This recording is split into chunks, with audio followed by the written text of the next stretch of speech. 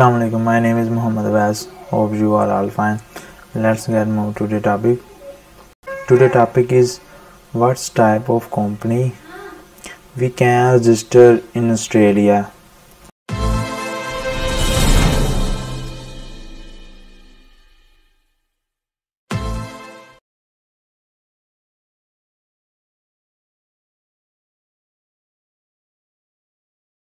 यानी ऑस्ट्रेलिया में हम कौन सी कंपनी को रजिस्टर कर सकते हैं? ऑस्ट्रेलिया में हम कोई भी कंपनी हमने जो रजिस्टर करनी होती है, वो A S I C stand for Australian Securities and Investment Commission जो इनका 2001 का एक एक्ट ला है कॉरपोरेशन का जो एक्ट ला है, उसके तहत हम कंपनी को रजिस्टर करते हैं और उसके तहत हम कौन सी कंपनीज़ को रजिस्टर कर सकते हैं?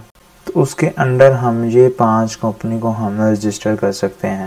इन पाँच कंपनी को हम अपनी नीड के मुताबिक जो हमारा बिज़नेस पर्पज़ है, उसके मुताबिक हम इन कंपनीज़ में से कोई भी कंपनी जो कॉरपोरेशन एक्ट 2001 का जो लॉ है, उसके तहत हम इसे रजिस्टर कर सकते हैं। और आज का हमारा ये टॉपिक है कि हम इस पाँच कंपनीज़ को डिस्कस कर क्या क्या पर्पज़ है इसका किसके लिए हमें ये चाहिए और क्या इनका प्रोसेस होता है, ये आज हम इस वीडियो में डिस्कस करेंगे। तो इधर जो पहली company proprietary limited company P T I L L T D mostly हम जब अमेज़ोन के लिए, किसी भी पर्पज़ के लिए जो मोस्टली कंपनी क्रिएट करते हैं, वो यही P T I L T D company होती है। इसी को हम क्रिएट करके फर्दर हम अपने अमेज़ोन के लिए कंपनी रजिस्टर करते हैं और किसी पर्पज़ के लिए। तो मोस्टली अमेज़ोन के लिए ये P T I L company को रजिस्टर करते हैं। तो देखते हैं कि ये कंपनी क्या है। तो P T Y L T D एक स्मॉल एंटिटी टाइप कंपनी होती है। इसमें मिनिमम शेयर होल्डर की लिमिट एक होती है और मैक्सिमम शेयर होल्डर की लिमिट फिफ्टी होती है। यानी कि इन शेयर होल्डर की लिमिट के अंदर ही हम P T Y L T D को रजिस्टर करते हैं। और ये स्मॉल बिज़नेस के लिए हम ये कंपनी को रजिस्टर करते हैं। ये एक लिमिटेड लाइबिलिटी कंपनी होती है।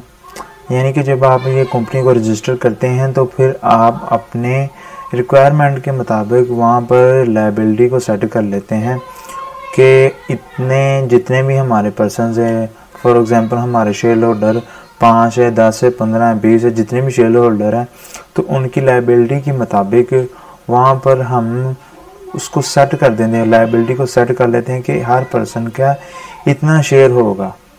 उस शेयर होल्डर की लिमिट को वो सेट कर लेते हैं। वो एक शेयर को सेट कर देते हैं कि जितने भी हमारे शेयर होल्डर हैं, वो इस शेयर की बुनियाद पर वो इन्वेस्टमेंट इसमें इंक्लूड करेंगे। अगर वो फॉर एग्ज़ाम्पल वो अपने एक शेयर की वैल्यू रख लेते हैं फिफ्टी डॉलर तो वो उसी हिसाब से कि अगर उस कंपनी के सौ शेयर्स हैं तो एक शेयर्स की वैल्यू होगी फिफ्टी डॉलर तो वो जितने भी पर्सन होंगे फॉर एग्ज़ाम्पल अगर अब पाँच पर्सन है तो किसी के वो बीस शेयर है, किसी के दस किसी के पंद्रह तो फिर वो अपने वो शेयर की वैल्यू के हिसाब से ही इन्वेस्टमेंट उधर डालेगा कि मेरे इतने शेयर है और मैंने इतनी इन्वेस्टमेंट लगानी है। तो वो जितनी भी इन्वेस्टमेंट होगी तो उसी इन्वेस्टमेंट के हिसाब से, यानी कि उनके वो शेयर के हिसाब से ही उस कंपनी का जितना भी प्रॉफिट आएगा, जितना भी लॉस आएगा, उनके, उन शेयर की वैल्यू के हिसाब से प्रॉफिट और लॉस मिलेगा। ये एक ऐसी कंपनी है जो कि प्रॉफिट के लिए, मुनाफे के लिए वो तजारत वगैरह भी करती है। मगर ये कंपनी दायमी तौर पर मौजूद रह सकती है। इसके अलावा और बहुत सी कंपनी अपने सरमाए को बढ़ाने के लिए, अपनी कंपनीज़ को बढ़ाने के लिए वो अपने शेयर पब्लिकली तौर पर वो सेल कर लेते हैं और उस सेल से सरमाया को इकट्ठा करके वो अपनी कंपनी को ग्रोथ करते हैं, वो उसको स्केल अप करते हैं। मगर इस कंपनी में वो अपने जितने भी शेयर्स वगैरह हैं, वो पब्लिकली तौर पर उसे फ्रोकर नहीं कर सकते, उसे सेल नहीं कर सकते। और इसकी ज़िम्मेदारियाँ लिमिटेड में रहती हैं, महदूद रहती हैं, इसकी जितनी भी ज़िम्मेदारी होती हैं, वो एक लिमिट के अंदर रहती हैं। और ये दो पॉइंट ही इसमें डिसएडवांटेज के तौर पर काम करते हैं। जैसे कि इसकी लिमिट होती है कि जितने भी शेयर्स होते हैं, वो 50 की लिमिट्स को एक्सीड नहीं करते।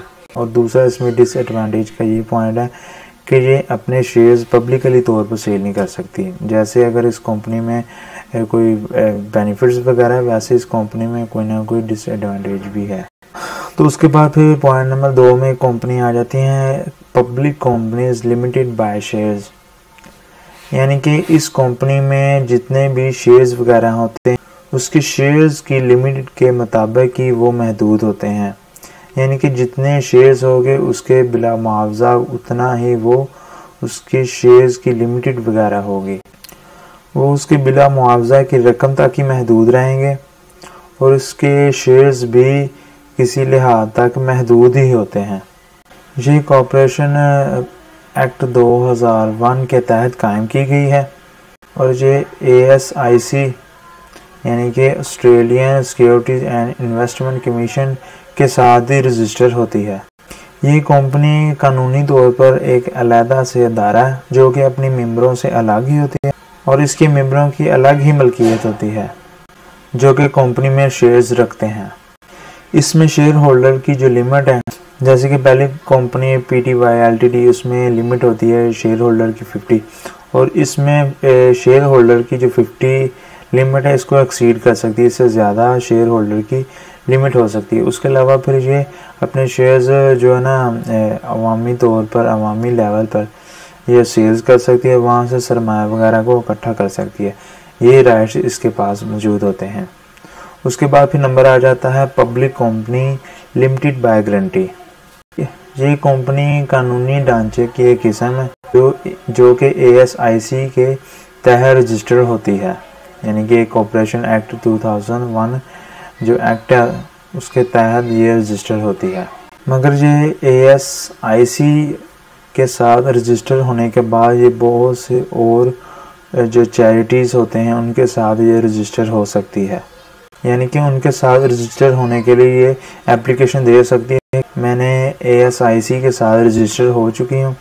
अब मैं किसी न किसी जो वहाँ पर चैरिटी वगैरह होता है, वहाँ पर जो ट्रस्ट वगैरह उसके साथ मैं रजिस्टर होना तो ये वहाँ पर रजिस्टर होने के लिए एप्लीकेशन दे सकती है, उनके साथ वो रजिस्टर हो सकती है।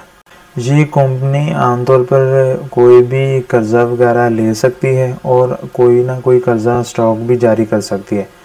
ये सी एल जी यानी कि चैरिटी जो अदारे होते हैं, उनके साथ या उनके ज़रिए चैरिटी पर्पज़ के लिए या और गैर मुनाफा बख्श पर्पज़ के लिए ये वहाँ पर ये कायम की जाती है। इस कंपनी से कमाया हुआ कोई भी प्रॉफिट वो चैरिटी पर्पज़ के लिए या नॉन प्रॉफिट एक्टिविटीज़ कोई भी होती है, उसके लिए हम इसके प्रॉफिट वगैरह को यूज़ कर सकते हैं। जितना भी प्रॉफिट वगैरह ये कंपनी जनरेट करेगी, उसको हम चैरिटी के लिए या और नॉन प्रॉफिट जितने भी एक्टिविटीज़ वगैरह होती हैं गैर मुनाफा बख्श जितने भी एक्टिविटीज़ होती हैं, उसके लिए हम इस कंपनी के प्रॉफिट को यूज़ कर सकते हैं, उसे इस्तेमाल कर सकते हैं। और इसमें मिनिमम तीन गवर्निंग बोर्ड होने चाहिए।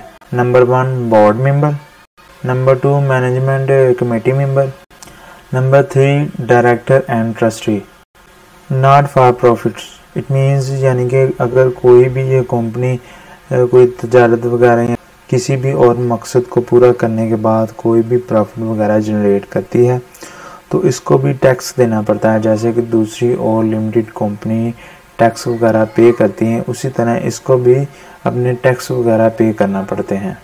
नॉट फॉर प्रॉफिट का ये मतलब नहीं कि इसे टैक्स देना ही नहीं पड़ता। इसे भी टैक्स अदा करना पड़ता है इसे भी टैक्स पे करना पड़ता है। जैसे कि और दूसरी कॉरपोरेशन या और कोई कंपनीज़ वगैरह टैक्स को पे करती हैं, वैसे ये जितना भी प्रॉफिट वगैरह जनरेट करते हैं, उसके हिसाब से इन्हें भी टैक्स वगैरह पे करना पड़ता है।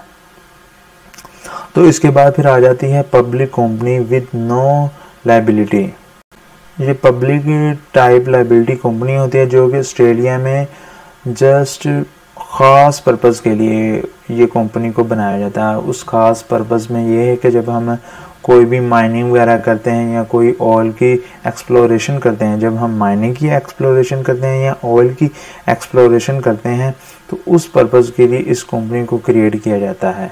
तो उसके बाद फिर आ जाती है special purpose companies special purpose company में और ये कंपनी किसी खास पर्पज़ के लिए बनाई जाती है।